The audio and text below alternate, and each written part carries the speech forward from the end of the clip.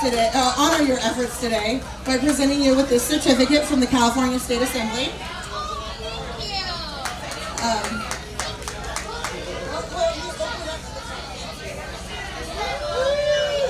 very fancy.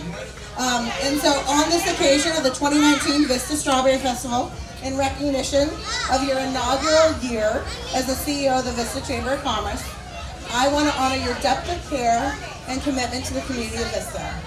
On behalf of the California State Assembly, I wish you continued success in your service to our community.